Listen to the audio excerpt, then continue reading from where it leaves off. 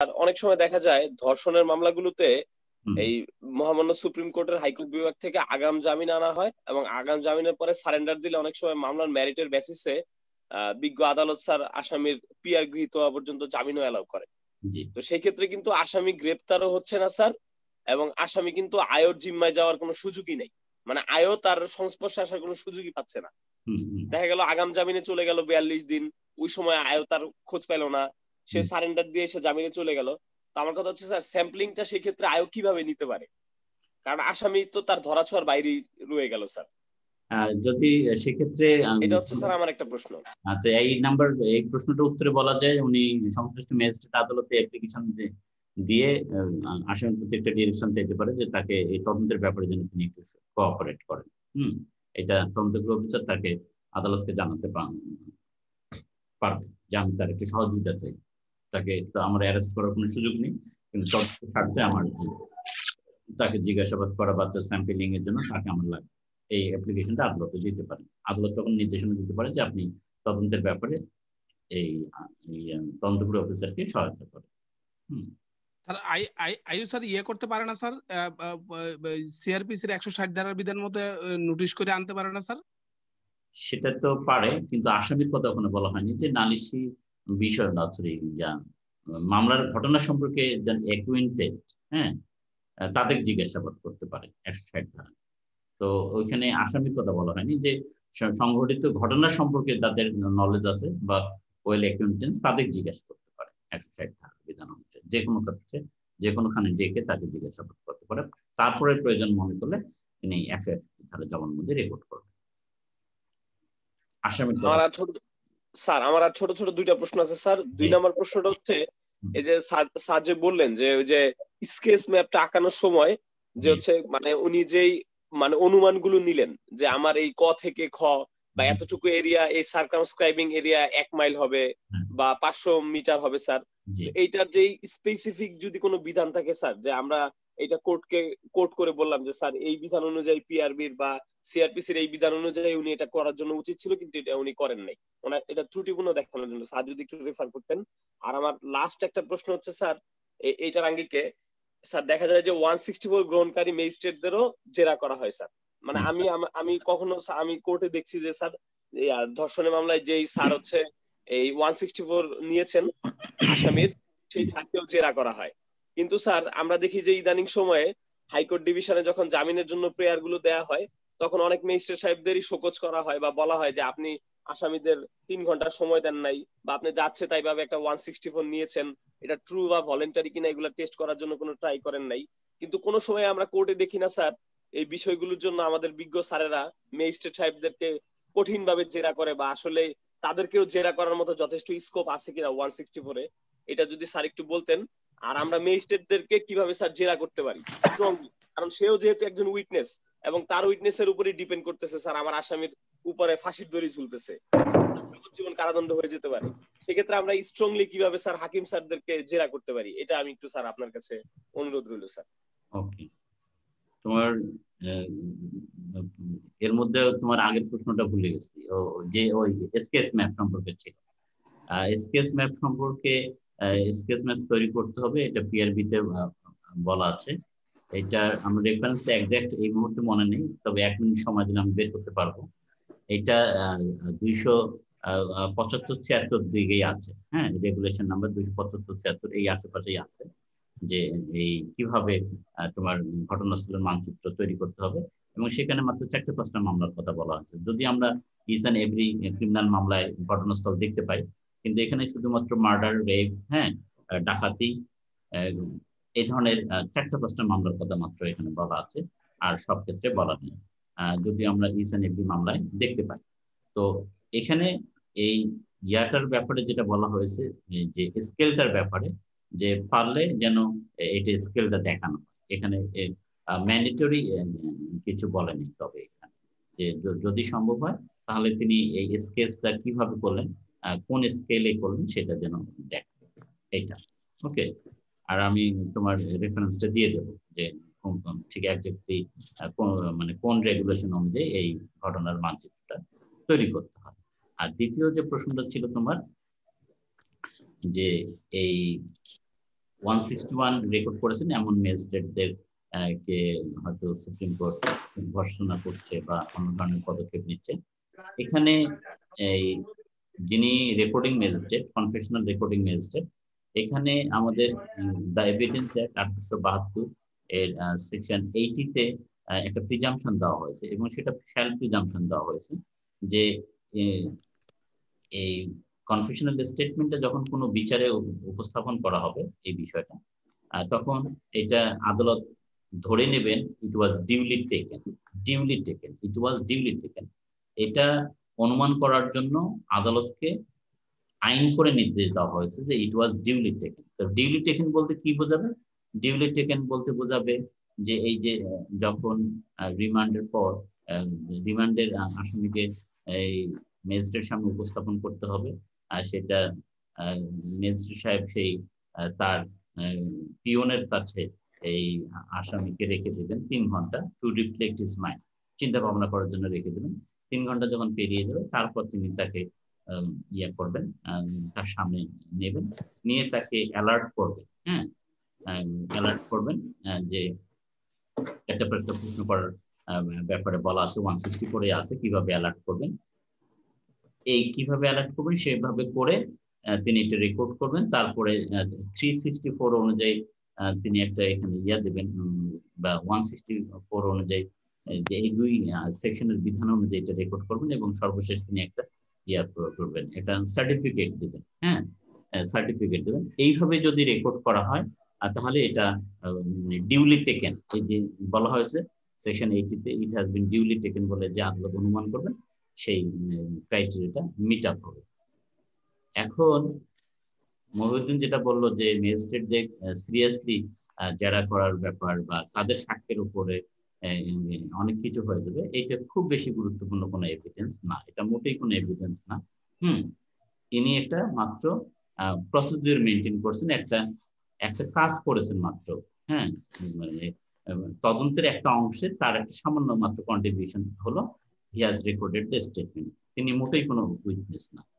হ্যাঁ? উইটনেস হওয়ার কোনো সুযোগই নেই তার মামলায়।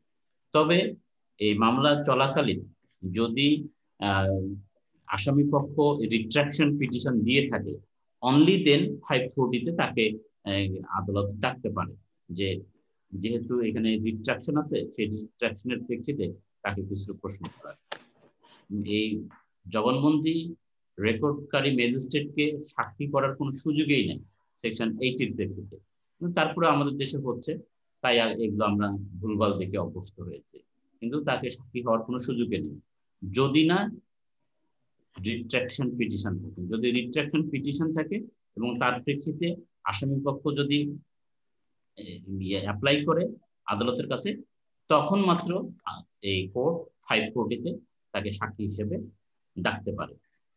ডাকলে ডেকে তার হাতে ছেড়ে দেবে যে আপনি ইয়ে করেন, যারা করেন। ওই যারা করবে কীভাবে? ওই রিট্রাকশন পিটিশনের প্রেক্ষিতে। তার শরীরে কোনো মার্কস বুইস দেখতে পেয়েছিল কিনা? তাকে ঠিক মতো অ্যালার্ট করা হয়েছিল কিনা? অথবা রিফ্লেকশন মাইন্ড রিফ্লেকশনের জন্য সময় দেওয়া হয়েছিল কিনা? এবং ঠিক মতো একটা সার্টিফিকেট দেওয়া হয়েছিল কিনা?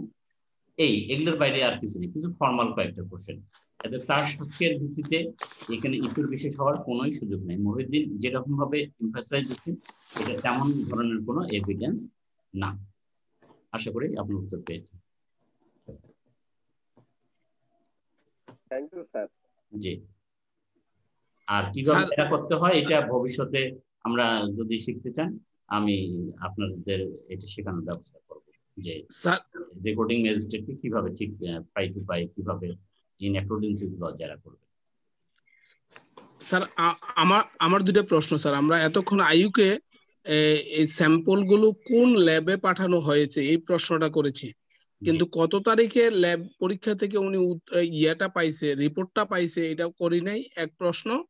আর আরেকটা জিনিস জানার বিষয় স্যার এটা কি কোনো টেরিটোরিয়াল জুরিডিকশন আছে? যে কোন এরিয়ার আর স্যাম্পলগুলো কোন পরীক্ষাগারে পাঠাইতে হবে এরকম কোন নির্দেশনা আছে কিনা সরকারের স্যার?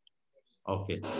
প্রশ্নের জন্য এখানে এখনও কোনো টেরিটরি ভাগ করা হয়নি। বাংলাদেশে শুধুমাত্র একটা কি দুইটা সব আমি যতটুকু জানি যে দুইটা মাত্র হাতে ল্যাব আছে, ঢাকা মেডিকেল আছে আর বোধহয় পুলিশের কোথাও একটা হয়েছে এই দুইটা। এখানে টেরিটোরিয়াল কোনো বিষয় নেই। যে কোনো দেশের যে কোনো জায়গা থেকে এটা পাঠানো যাবে। এই বিষয়ে কোনো ইয়া নেই। আর আতলা যেটা বলছেন যে এই প্রশ্নটা করা হয়নি যে তদন্তকারী অফিসার যে তিনি কোন তারিখে পেয়েছেন। হ্যাঁ এই প্রশ্নটা আপনি করতে পারবেন যে আপনি এটা কোন তারিখে প্রাপ্ত হয়েছেন এই রিপোর্টটা এটা তারপরে হয়তো এই রিপোর্ট আপনার পর্যালোচনায় নিয়েছেন কিনা বা ডাক্তার পরীক্ষার ইয়াটা নিয়েছেন কিনা এটা আপনি প্রশ্ন করতে পারবেন। এটা হয়তো আমার বলা মনে ছিল না। জি স্যার। সোডোমি সম্পর্কে একটু প্রশ্ন করি স্যার। কোন সম্পর্কে? যেহেতু আপনি বললেন যে ধর্ষণের এই যে স্যার বলাৎকার সোডোমি জি জি সোডোমি জি। জি স্যার সোডোমি সম্পর্কে আপনি যেহেতু নয় ধারাটা উল্লেখ করে বললেন যে ওখানে কোন ব্যক্তি যদি কোনো নারী বা কোনো শিশুকে ধর্ষণ করে এখন শিশু বলতে সেকশন দুই এর টতে বলা হয়েছে যে ছেলে মেয়ে দুটাকে উল্লেখ যে কোনো বয়সের ব্যক্তিকে তাহলে বিলো বিলো হ্যাঁ যে কোনো হ্যাঁ জি। হ্যাঁ তাহলে ওটা ছেলে হলেও ধর্ষণ হবে মেয়ে হলে তো হবেই। জি। এটাই তো বোঝাতে চাচ্ছেন স্যার। জি জি হ্যাঁ। তাহলে ওই যে হ্যাঁ তাহলে এখানে আজকে যদি এরকম একটা রেফারেন্স একটা লিখে নিতে পারেন। নাইনটিন বিএলসি একশো একাত্তর থেকে ছিয়াত্তর পৃষ্ঠায় এ ধরনের একটা জাজমেন্ট আছে। নাইনটিন বিএলসি প্রয়োজনে লিখে নিতে পারেন আপনার এটা। উনিশ BLC high court division. Hasan Arif সাহেবের জাজমেন্ট এটা। স্যার পেজ নাম্বারটা একটু প্লিজ বলতেন স্যার এটা একশো একাত্তর থেকে একশো ছিয়াত্তর মিস্টার জাস্টিস হাসান আরিফ স্যারের জাজমেন্ট এটা। হ্যাঁ থ্যাংক ইউ স্যার স্যার এইখানে আমার যে মূল কোশ্চেনটা তাহলে ওই যে দুই হাজার তেরো সালে যে শিশু আইন হলো স্যার এখানে এই ক্ষেত্রে তাহলে কোনটা প্রাধান্য পাবে?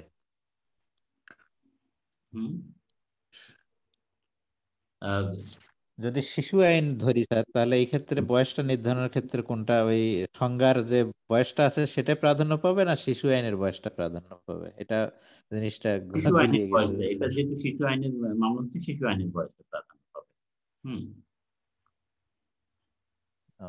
হ্যাঁ আর আমাদের ওই যে নৌসাদ সাহেব মানে বলছেন রেফারেন্সটা তো আমি ভুলে গেছিলাম উনি বলতেছেন যে এটার পিআরবি দুশো তেহাত্তর হবে। আমি তাই বলছি যে দুশো পঁচাত্তর বা এর আশেপাশে হবে একজাক্ট ইয়েটা ভুলে গেছি আমি। হুম এই যে স্কেচ ম্যাপ তৈরি করার যে ইয়াটা রেফারেন্সটা মহিউদ্দিন জিজ্ঞেস করতেছিল এইটা দুশো তেহাত্তর হবে। হুম পিআরবি স্কেচ ম্যাপ তৈরি করা সংক্রান্ত।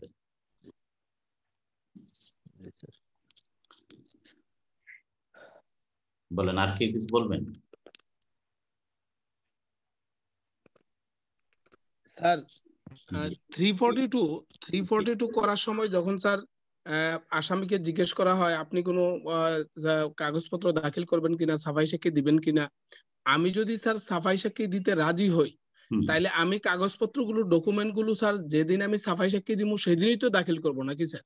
রাইট হ্যাঁ যেদিন আপনি সাফাই সাক্ষী দিবেন আপনি জবানবন্দি করার পর আপনার ডকুমেন্টসগুলো টেন্ডার করবেন ইন এভিডেন্স কিন্তু আমাদের আমাদের এখানে স্যার একজন ম্যাজিস্ট্রেট সাহেব আমাকে স্যার তা বাধা দিল স্যার আমারে বলল আপনি থ্রি ফোর্টি টু দিনই তো আপনার উচিত ছিল কাগজগুলো ডকুমেন্টগুলো দাখিল করা।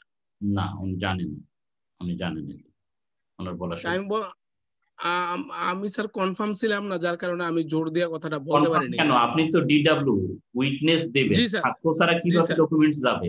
এই কথাটা আপনি ইনস্ট্যান্টলি বলতে পারতেন যে স্যার থ্রি ফোরটি টু আমি শুধু আগ্রহ প্রকাশ করলাম যে opt for opt for producing DW তো আমি ডিডাব্লিউ দিয়ে মানে ডিডাব্লিউর মাধ্যমে তো আমি এই ডকুমেন্টটা টেন্ডার করব ডকুমেন্টগুলো এটা বলতে আমি কনফার্ম না থাকা সত্ত্বেও স্যার আমি এটা বলছি যে আমি যেদিন সাক্ষ্য দিব আমি তো সেদিনই তো ডকুমেন্টগুলো দাখিল করব। এর পূর্বে কীভাবে দাখিল করি স্যার করার কোনো সুযোগ হয় না আপনি থ্রি ফোর্টি টু দিনই তো আপনি ডকুমেন্টগুলো দাখিল করা উচিত ছিল। উনি আমাকে এটা বলল। মন্তব্য করছে। মন্তব্য সঠিক হয় কিন্তু তারপর নিচে স্যার আমার ডকুমেন্টগুলো পরে নিচে কিন্তু উনি কি করে সেটাই স্যার আমার সন্দেহ লাগল যে উনি এই ডকুমেন্টগুলো নিতে চাচ্ছিল না যে এটা থ্রি ফোর্টি টু দিনই তো আপনি দেওয়া উচিত ছিল। কিন্তু পরবর্তীতে কীভাবে দিলেন সেটা বলেন। পরবর্তীতে আমিও আমি আমি বললাম যে আমি জোর করে বললাম যে স্যার আমি যেদিন ডকুমেন্ট আমি তো সাক্ষীই দেইনি। আমি ডকুমেন্টগুলো দেখে কীভাবে দিব স্যার? হ্যাঁ। আমি এখন সাক্ষী দিলাম আমি এখন ডকুমেন্টগুলো দাখিল করলাম স্যার। দয়া করে নেন স্যার এবং এক্সিবিট মার্ক প্রার্থনা করলাম। হ্যাঁ। তখন নিল স্যার। নিল পরে নিছে স্যার। ফিরিস্তি যোগে দেন নাই তো আবার?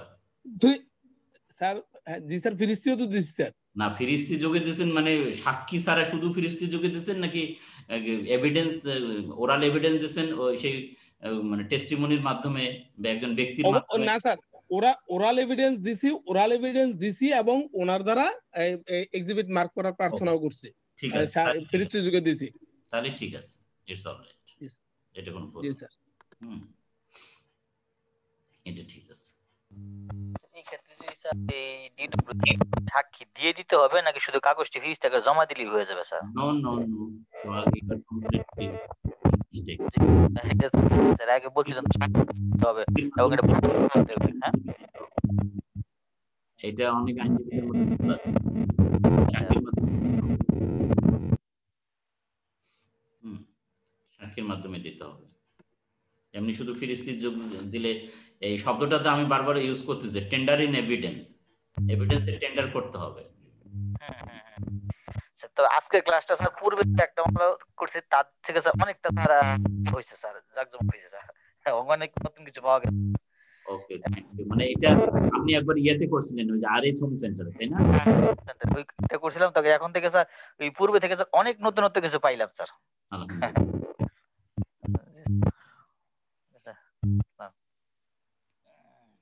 আসসালামু স্যার।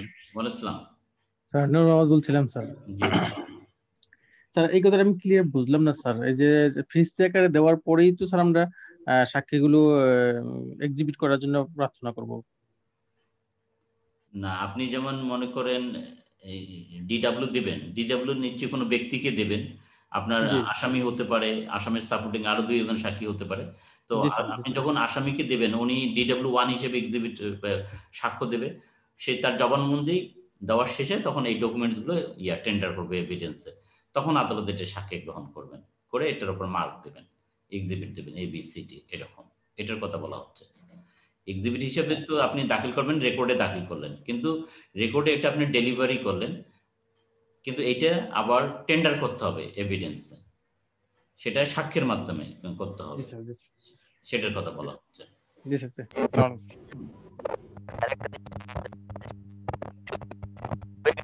সোহাগের মাইক্রোফোন আজকে ঝামেলা করতেছে তো।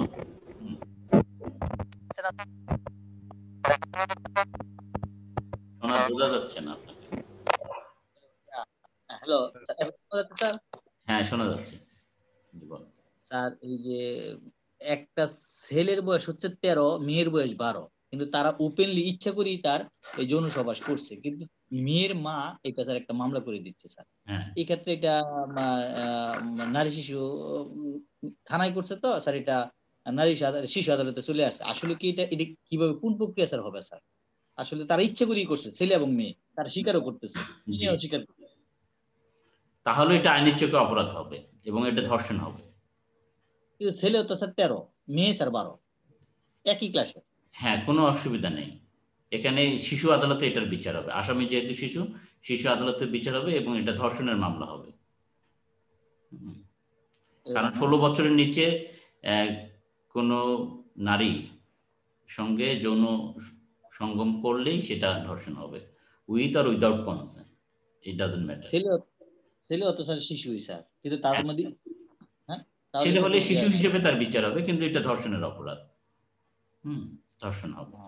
শিশু আদালতের বিচার। স্বীকারোক্তি করছে হ্যাঁ আমি ওর সাথে ইচ্ছা করি এই কাজটা করছে স্যার জি। ষোলো বছরের নিচের কোনো মহিলার সাথে যৌন সঙ্গমে উইথ কনসেন্টও যদি হয় ইভেন তারপরে এটা অপরাধ বলে গণ্য হবে। ধর্ষণের অপরাধ বলে গণ্য হবে। আচ্ছা। ভিকটিমের মা সঠিক কাজটাই করছে হ্যাঁ। মামলা করে। রাইট জি স্যার স্যার আমার একটি প্রশ্ন ছিল স্যার। স্যার আমি মেহেদি হাসান স্যার আমাদের স্যার স্যার আমাদের যে ট্রাইব্যুনাল টুতে স্যার একটি মুকদ্দমা স্যার এটা স্যার নয়ের একের মুকদ্দমা স্যার দায়ের করা হয়েছে। স্যার এটা চার্জ স্যার এটা পুলিশ প্রতিবেদনে স্যার আসছে স্যার দশ দ্বারা।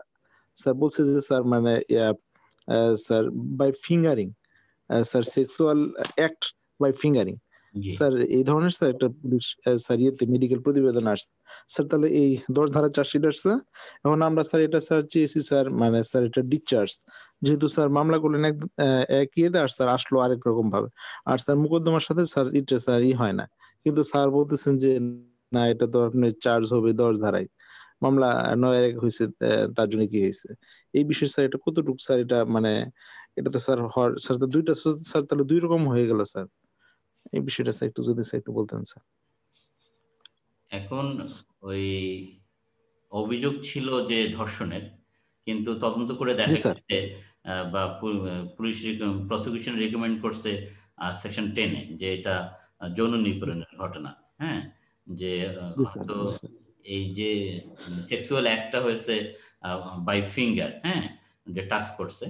তো আমরা তো আইনে জানি যে আমাদের ধর্ষণের যে সংজ্ঞা দেওয়া হয়েছে, নারী শিশু নির্যাতন দমন আইন দু হাজার সেকশন টু ক্লোজ ওয়ান ওমুতে সেখানে বলা হয়েছে ধর্ষণ বলতে ধারা নয়ের অধীনে নয় ধারার সাপেক্ষে তিনশো পঁচাত্তর ধারাকে বুঝতে হবে। তার মানে তিনশো পঁচাত্তর ধারাটা এখানে ট্যাগ আছে তিনশো পঁচাত্তর ধারারও কার্যকারিতা এখানে আছে। তাহলে তিনশো পঁচাত্তর ধারা যেহেতু ট্যাগ আছে এখানে তাহলে তিনশো পঁচাত্তর ধারা বলছে sexual act with women against her will or against her মানে কনসেন্ট ইত্যাদি ইত্যাদি। সেখানে কিন্তু বলা হয়েছে ব্যাখ্যা যে একটা পেনিট্রেশন হতে হবে হ্যাঁ? মানে যে কোনো ভাবে একটা পেনিট্রেশন হবে। এই পেনিট্রেশন ভ্যাজানাল পেনিট্রেশনটা হতে হবে তাহলে ধর্ষণ হতে গেলে একটা ভ্যাজানাল পেনিট্রেশন হতে হবে এবং এই পেনিট্রেশনটা হতে হবে থ্রো মেল অর্গান তো এখানে আপনার যে মামলাটা, এখানে কিন্তু এই একটা যে সেক্সুয়াল অ্যাক্ট আছে, এখানে কিন্তু পেনিট্রেশনটা নেই। পেন না সরি পেনিট্রেশন আছে কীভাবে? থ্রো ফিঙ্গার কিন্তু মেল অর্গান দিয়ে নেই। যদি মেল অর্গান দিয়ে না হয়, তাহলে এটা ধর্ষণের অপরাধকে অ্যাট্রাক্ট করবে না। সেখানে সেকশন টেনেই অ্যাট্রাক্ট করবে এবং সেকশন টেনে এটা চার্জ হতে পারে। এতে কোনো আইনগত অসুবিধা হবে না। জি স্যার ধন্যবাদ স্যার। জি। তো হ্যাঁ হ্যাঁ হ্যাঁ প্লিজ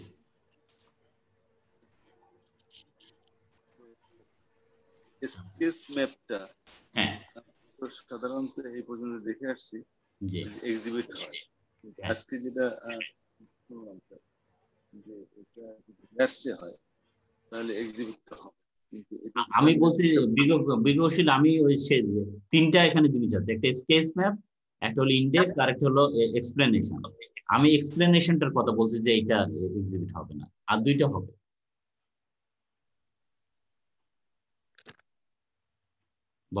ওইটুকু হ্যাঁ একই কাগজে যদি করে তাহলে এটা হবে স্যার অনেক সময় যে আইওরা একই কাগজে করে। হ্যাঁ আচ্ছা এই জায়গাটুকু স্যার আমাদের আরেকটু একটু ক্লিয়ার করে দিবেন স্যার। ওই যে তিনটা ফর্দের কথা বলছেন আরে ক্লিয়ার করে দিলে একটু ভালো হতো স্যার। এখানে হলো যে খসড়া মানচিত্র সূচি একই কাগজ হতে পারে অথবা ভিন্ন কাগজে হতে পারে সেটা কোনো সমস্যা নেই হ্যাঁ। আমি যে বিষয়টার প্রবলেমের কথা আপনাদের সামনে উত্থাপন করছি, সেটা হলো সূচির ব্যাখ্যাটা। সূচির ব্যাখ্যাটা গ্রহণ করা যাবে না। ওইটি এক্সিবিট হবে না। কারণ এটা হলো হেয়ার্স এভিডেন্স তদন্তকারী অফিসার অন্য আরেকজন ব্যক্তির কাছে শুনেছে। শুনে তিনি এটা এখানে লিখেছে। এই কারণে এটা যেহেতু এভিডেন্স অ্যাক্ট সেকশন সিক্সটিতে বলা হয়েছে যে মৌখিক সাক্ষ্য হতে হবে প্রত্যক্ষ। যিনি শুনেছেন যিনি দেখেছেন। তাকে হতে হবে। কিন্তু এই তদন্তকারী অফিসার তো নিজে শুনেন নাই, ঘটনাটা দেখেনও নাই। তিনি ভিন্ন এক ব্যক্তিকে জিজ্ঞেস করে তারপরে এই তথ্যটা দিচ্ছেন। এই জন্য এটাকে বলা হচ্ছে ইটস অ্যান হেয়ার্স এভিডেন্স এই সূচির ব্যাখ্যাটা আইনে গ্রহণযোগ্য হবে না। এটা আমি বলার চেষ্টা করছি এবং এই সূচির ব্যাখ্যাটা এক্সিবিট হবে না। এই প্রসঙ্গে আরেকটু একটু বলি সেটা হলো যে এক্সিবিট কোনগুলো হওয়া উচিত? ও এক্সিবিট কোনগুলো হওয়া উচিত এটা তো বিশাল আলোচনা আমরা করছি অনেকগুলা সেশনে আপনি ছিলেন না হ্যাঁ? এটার আবার অনেকক্ষণ লাগবে। কোন জিনিসটা এক্সিবিট হতে হয়? এক্সিবিট সম্পর্কে সারা দেশে বিরাট ভুল ধারণা প্রচলন আছে কনসেপশন মিসকনসেপশন আছে অ্যামাং বোথ দ্য পার্টি হ্যাঁ? আহ, তো এটা আলাদা আলোচনা করা লাগবে। ঠিক আছে হ্যাঁ। স্যার ট্রায়াল টেকনিকে হবে স্যার এখানে হবে। রাইট রাইট ট্রায়াল টেকনিকে হতে পারে। হ্যাঁ। তারপরে একটু স্যার সংশ্লিষ্ট সেকশনগুলো যদি আপনি বলে দেন তাহলে আমরা নিজেরাও দেখে নিতে পারি। বলা যাবে না স্যার আগ্রহ তাহলে থাকবে না স্যার বলার দরকার নেই স্যার থাক। হ্যাঁ এখন দেখেন না। মুজাহিদ এখনকার দেখবেন যে ইউটিউবে যদি ভিডিওগুলো দেখেন না কি বলে যে তারা আপনারা আমার ভিডিওটা সম্পূর্ণ টেনে টেনে না দেখে সম্পূর্ণটা দেখেন আর এই কথাটা আমি সবার শেষে গিয়ে বলব বুঝছেন? ওই যে ডাক্তার ফিরদৌস সাহেব যে ভিডিও করে না যে ইংল্যান্ড ইয়া নিউ ইয়র্ক থেকে ইয়া থেকে দেখবেন যে। ইনফরমেশনগুলো সবার শেষে দেয় বুঝছেন? যাতে মানুষ পুরো ভিডিওটা তার দেখে। এই জন্য থাকেন আস্তে আস্তে হবে আর কি স্যার নেক্সট আমরা কোন ওয়ার্কশপ পাচ্ছি স্যার? নেক্সট তো অলরেডি একটা থ্রো করা হয়েছে ক্রিমিনাল অস্ত্র মামলা কিন্তু আপনাদের পার্টিসিপেন্টরা আগ্রহ পাচ্ছে না এটা নিয়ে। এত এটা মানে কি যে হবে নোবডি নোজ হ্যাঁ? তবে চেষ্টা করা হচ্ছে অর্গানাইজ করা হচ্ছে হওয়ার জন্য। স্যার সবাই স্যার আমরা করব স্টুডেন্ট হবে স্যার। আমরা করব স্যার। হ্যাঁ। সেটা কত স্টুডেন্ট হবে স্যার এটা আশাবাদী স্যার। আশাবাদের হওয়ার থেকে আপনি বরং নাম লেখান।